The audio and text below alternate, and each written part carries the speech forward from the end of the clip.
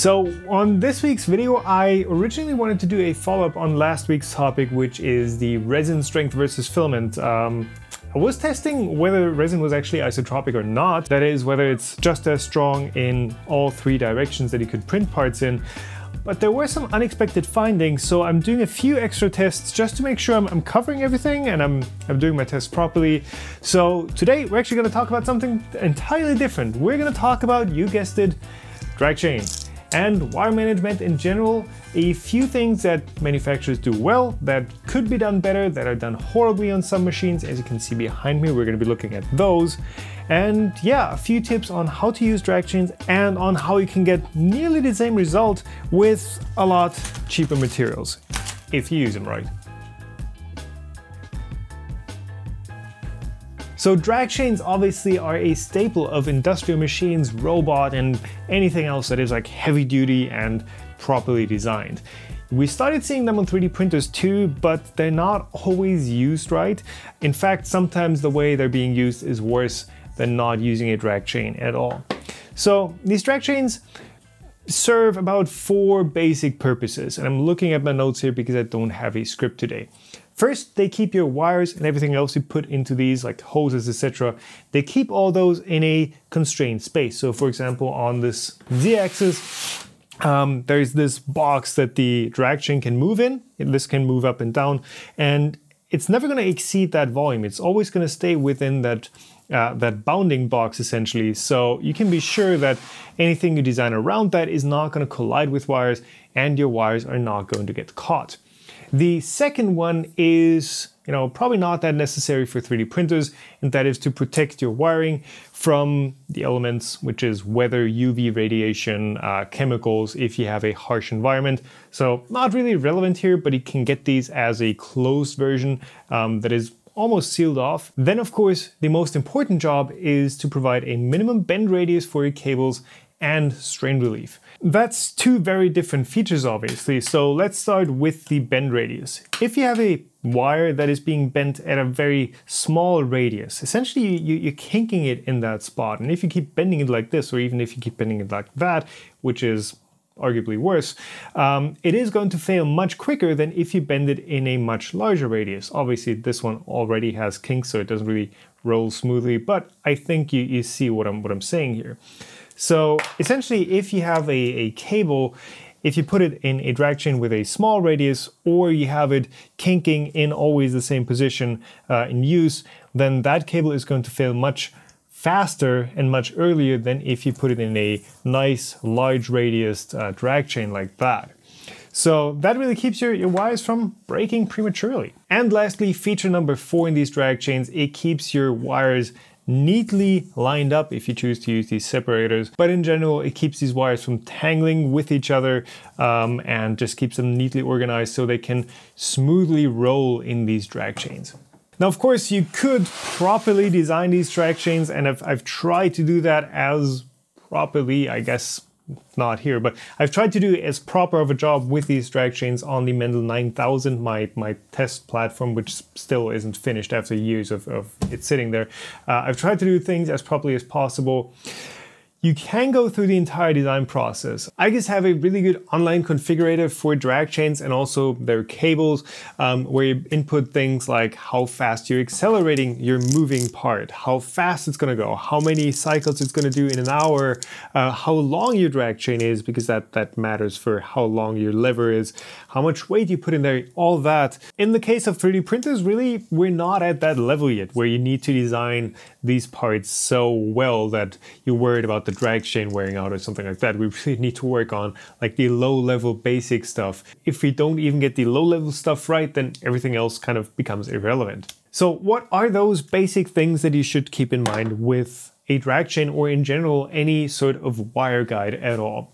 Well, first of all, like I mentioned, a large radius is always better than a small radius. Uh, yes, you do end up using a bit of extra cable, but your wires are just gonna last much much longer if you give him a larger radius. And also a thinner cable can get away with a much smaller bend radius than something as thick as these uh, chain flex cables which are the igus specific, uh, they're, well they're low grade drag chain wire. So these actually need a bit more of a bend radius to last the same time and the same amount of cycles than this smaller cable.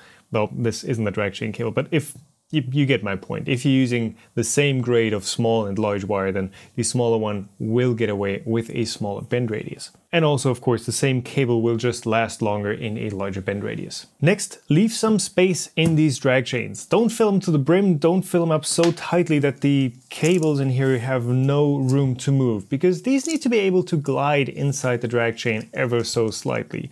Um, I mean, ideally, this should be a constant length, but there's always some movement. This isn't a perfect circle, of course, that you're bending these in, so there needs to be some slack also, you know, these cables shouldn't be pulled tight inside a drag chain. They also shouldn't be pushed in so that they rub up against the outside of the drag chain. Just keep them nice and, and somewhat loose in there and also leave some space uh, vertically so they can actually move around. And to make sure that you're not like accidentally messing up that balance in your application and you actually end up pulling one side tight, which again is gonna have the uh, your cable rubbing on the drag chain, your cable should be tied down on both ends of your drag chain.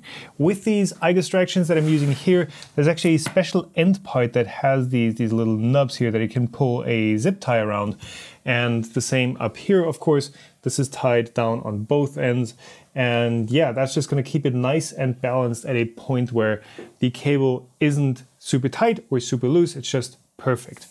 Now, the cables that you're using, um, do matter a lot too in how long they're going to last. We've talked about this in the Raptor review where they're using that, that rather large and coarse wire with a textile insulation uh, that is used for those silicone heater mats inside a drag chain, which is like the absolute worst type of cable you could use. Maybe solid core wire would be even worse, but um, in general, these cables, these drag chain cables, these aren't that special, especially these these low grade um, or like entry level CF130s that I've got from igus. Uh, these are regular PVC cables. I mean, they're not great for high temperature or high strain, high speed applications, but I'm, I'm just going to say from that, if you have something like a regular Cat5 Ethernet cable, I think this is, yeah, this is Cat5, these should be okay in a drag chain. In like a reasonable lifetime expectancy for a 3D printer if you give it some bend radius. You will wear out a lot of other parts on your 3D printer before you wear out your, your cabling if you constrain it right, either large radius drag chain or some of the other methods that we're going to get to in a second. In general, if you're looking for a cable Try to use as small of a cable as possible. Again, like I mentioned, this, this is gonna last longer than the thicker ones. Uh, make sure it is smooth and can glide along a drag chain if you're using a drag chain well. Uh, always make sure it gets as large of a bend radius as possible. Make sure it doesn't kink in one single position. We're actually gonna get to that in a second. And yeah, you should actually be able to use maybe not this type of a, of a tiny radius drag chain, but like a, a, slightly smaller version with regular wiring as well. And I think the Lulzbot actually does that, and that is a, a very good solution. So yeah, what are some of the alternatives to drag chains that we could be using? Because again, these are these can get bulky if you use them right, um, and also they're they're kind of expensive. There are lots of individual plastic components, and that does add up in cost. So let's go through those, well, three relevant features of drag chains one by one and see how these alternatives fare. Number one, constraining your cables to a defined space. We've got the, the good old spiral wrap, we've got mesh sleeving, we've got the slit open conduit that is being used on the Atom 3D printer, and all of these actually do a good job of, you know, at least keeping single wires from, from poking out and constraining your wire bundle to the inside of whatever your wrap is. Of course, you're still gonna have to take action to kind of constrain that wire bundle to where you want it to go. Next, strain relief and a minimum bend radius. And, you know, this is really the only one of these three that is going to give you some extra rigidity and is going to protect your wires from getting kinked and, and bent too tightly because this does have, you know, that this naturally kind of wants to bend in a larger radius. Uh, spiral wrap doesn't really do anything, it doesn't add rigidity and mesh sleeving also doesn't do much. These do add some rigidity and, and help with the wires bending in a larger radius, but by themselves, these don't help that much with kinking in one single spot. And that kinking is, first of all, important in, well, the bundle itself, but more importantly, at the interface where your sleeving ends and contacts to a, a fixed point. Actually, let me pull up the, uh, let me pull up this one. So on the Ender 3, they've actually done a good job with that um, back here where they used a sleeve, then some sort of a textile wrap, and then have this little snout at the back here that kind of guides the wire so it doesn't bend at the loose wire, at the naked wire in here, but bends at a position where it is reinforced and is a bit more rigid against uh, the, that, that kink in this one spot. Prusa actually do a very similar thing where they have the mesh sleeving on the outside and then a piece of filament just kind of reinforcing that bundle and, and forcing it into a larger radius. So these are both better solutions than not having any reinforcement there. Because again, if this one spot is not reinforced, then everything else like mesh sleeving or, or you know conduit or whatever stops mattering entirely. So since we already have the uh, CR10 up on the table here, let's start looking at what it does well and what it doesn't do so well. Um, and I do want to compare it against the CR10 because while they are very similar printers, uh, but they do have a few key differences that makes one a bit better than the other. So I guess like the first thing we can see is that the CR10 uses this external control box with just wiring all over the place. That is not a, a great start um, because you, you, don't get a constrained, a, a defined position of, you know, like the moving y-axis wire right here. Also, if you compare that one spot right there, the CR10 does not have that little extra snout there that would, you know, kind of strain relief this little spot right there. So any movement of the y-axis, especially if it's, it's if it's sideways like that, is going to bend the wire in that one spot repeatedly. Again, on the CR10, got the little plastic reinforcement bit, so that is a bit more well constrained. On the extruder, both of these actually do a reasonably good job because they use the principle of tying their wire bundle to something that is rigid. So they've got the Bowden tube right here that is rigidly coupled to the extruder and to the tool head. So that reinforces just that moving part of the wire.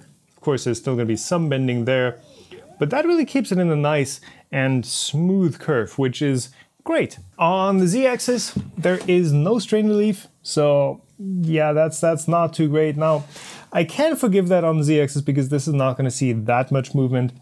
But in general, if you see any sort, or if the wiring can bend a connector like that, or, or wires going straight into a connector, that is a bad sign because these crimps are already a weak point in the wire, and if you add motion to that, that's exactly where they're going to fail. This is okay for the z-axis, I can forgive it, but of course I would prefer seeing this wire just being tied down to the moving part like that, so we now get a you know nice bending action right there and not right against the connector. That's the CR10. Let's actually compare the Ender 3 against ANET's kind of rival to the Ender 3. Uh, they tried to produce a Ender 3 competitor clone. Of course, they try to have it look the same, but in the end, it is a vastly different machine. Again, first difference is they've got the external control box, so already a bunch of, of wiring mess. On the Z-axis, they've actually got a very similar thing with just the wires going into the connectors without any sort of strain relief, and you can already see how much that bounces around. For the extruder though, they do have the wire with the mesh sleeving going all the way up to the extruder, but you can see there is there is like no strain relief there at all. So as this moves back and forth, this bit right there is just going to keep kinking back and forth. There is no reinforcement, unlike with the CR10 where it is tied to the Bowden tube. So that kind of keeps it from, from kinking, whereas on the ANET E10, they are actually reinforcing that kinking action because they're adding that piece of shrink wrap which is basically like a, a rigid lever that keeps pulling on these wires right down there. So this is not a, a great solution. I guess this should just be tied to the Bowden tube, but then you you are running out of uh, you are running out of wire length. So yeah, not fantastic. Also on the bed back here, uh, this is a similar issue than on the CR10. There is no strain relief on this connector at all. And again, you've got the wires bending in the connector itself. And also these connectors where they're soldered to this uh, heater PCB, that's where they often break. And you know how it is with ANET. When wires break, then you do end up with an unpleasant outcome. And lastly, the Lulzbot Mini. Unfortunately, Lulzbot did go out of business Maybe it's because they spend too much money on doing things properly because this is, wiring wise, it's a really good printer. Let's start up here with the Z-axis drag chain, IGUS, IGUS drag chain actually. That's great to see and it is a rather large radius. For the Z-axis it doesn't matter that much again because this doesn't see that much motion. For the X-axis we've got the same style drag chain, actually one with a, with a larger bend radius. We're a bit more relaxed here and that does work really well. It does give the wires um, a nice gentle curve to bend around. Uh, and the way they've positioned it by using the very top of the extruder carriage down to the very bottom of the carriage, they've got plenty of space to account for that large radius. Now, of course, you can see I've already you know messed with this printer because this has uh, a prototype Titan Aero on it. It's still a nice little printer, but um, yeah, doing things with drag chains and all, I guess turned out to be a bit too expensive uh, to maintain because for the price of one mini, I think you could buy like six 888s. And of course, yeah, that's a, that's a pretty hard sell if you don't know what to look for. All right, so that's it for today. A quick little video. I hope you still enjoyed it and got some useful information out of it. Um, maybe keep an eye out for these sorts of sins with wiring and strain relief on your next printer pick or on your next printer build. Maybe you can do a better job of keeping uh, your wires happy and yourself safe from electrical fires because that's exactly how those get created. Anyways, thank you for watching. Make sure you get subscribed right there and I will see you all in the next one. Bye.